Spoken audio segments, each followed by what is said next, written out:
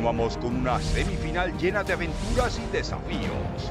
Rey Armas, con sus extraordinarios niños, lo entregarán todo.